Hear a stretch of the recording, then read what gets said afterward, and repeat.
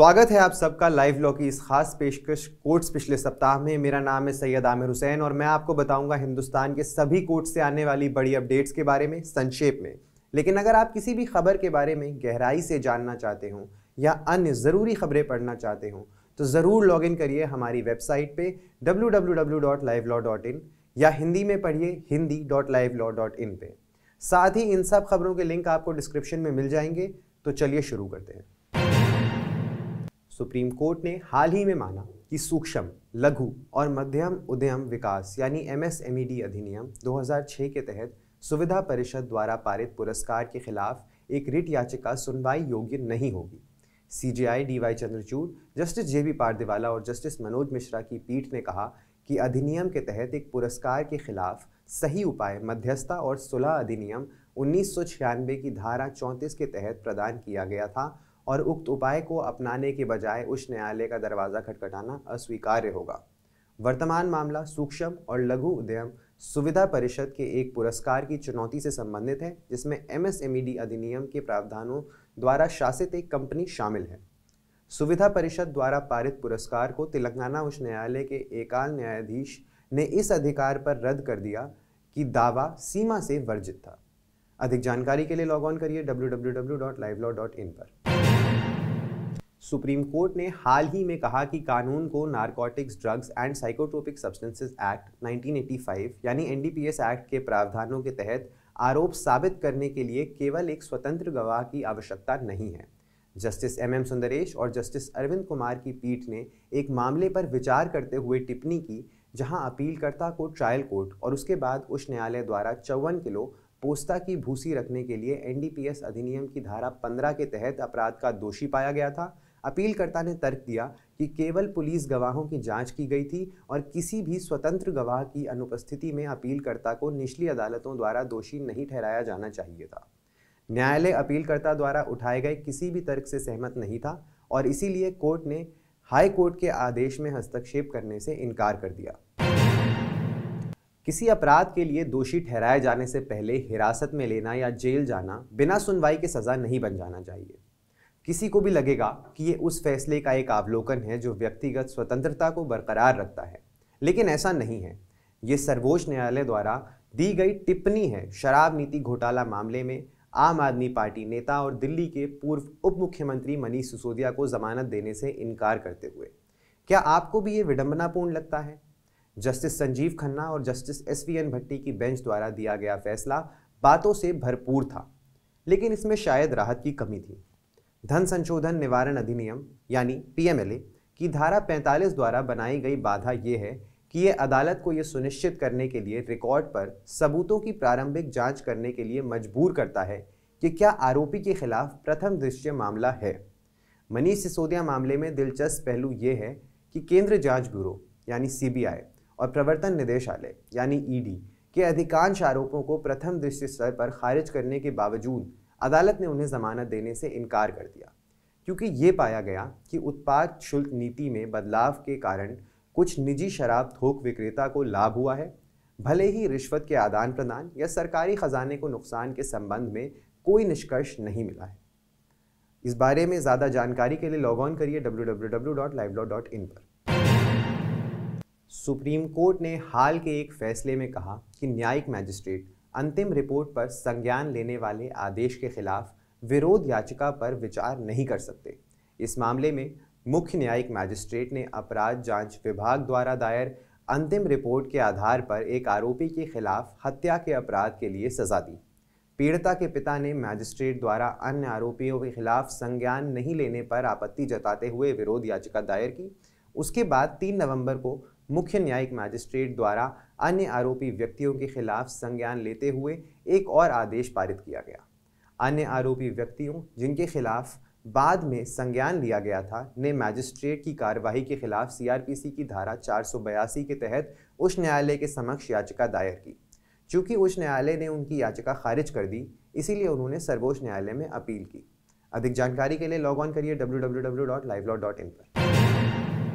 उच्चतम न्यायालय ने हाल ही में हत्या के एक मामले में एक दोषी को बरी करते हुए कहा कि जिन व्यक्तियों के समक्ष न्यायतर स्वीकारोक्ति की जाती है, उनके साक्ष्य उत्तम गुणवत्ता के होने चाहिए। न्यायालय ने कहा, जब अभियोजन पक्ष न्यायतर स्वीकारोक्ति के साक्ष्य पर भरोसा करता है तो आमतौर पर न्यायालय अपेक्षा करता है कि जिन व्यक्तियों के समक्ष न्यायतर स्वीकारोक्ति कथित तौर पर की गई है, उनके साक्ष्य उत्तम गुणवत्ता के होने चाहिए।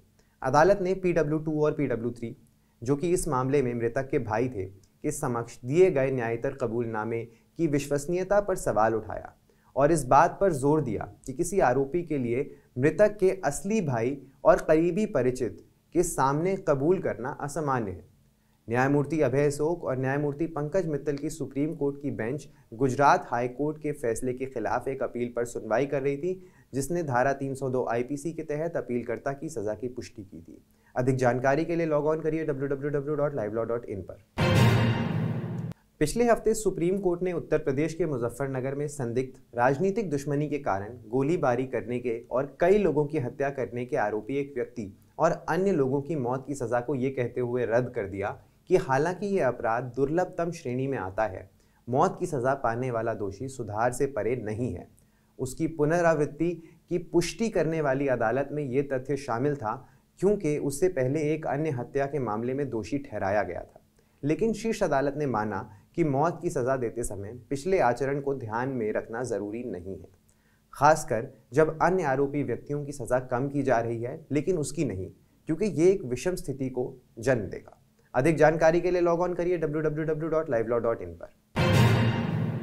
सुप्रीम कोर्ट ने हाल ही में हत्या के एक मुकदमे में दोष सिद्धि को खारिज करते हुए सुस्थापित कानून को दोहराया कि गवाह तीन प्रकार के होते हैं। एक, वे जो पूरी तरह से विश्वसनीय हैं।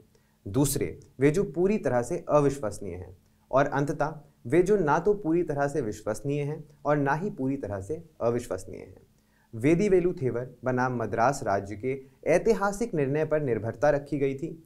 न्यायालय ने यह भी बताया कि जहाँ तक पहले दो परिदृश्यों का सवाल है, गवाहों की गवाही को पूरी तरह से स्वीकार या खारिज किया जा सकता है।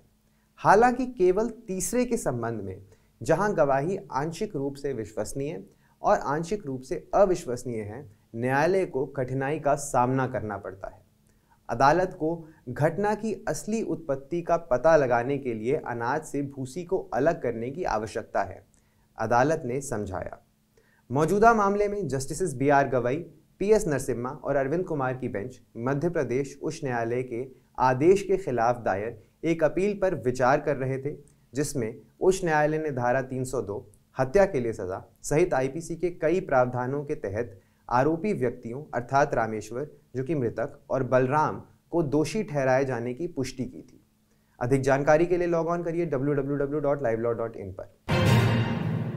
सुप्रीम कोर्ट ने माना कि एक प्राधिकरण भारतीय अनुबंध अधिनियम के तहत अपने एजेंट द्वारा किए गए वादे से बंधा हुआ है।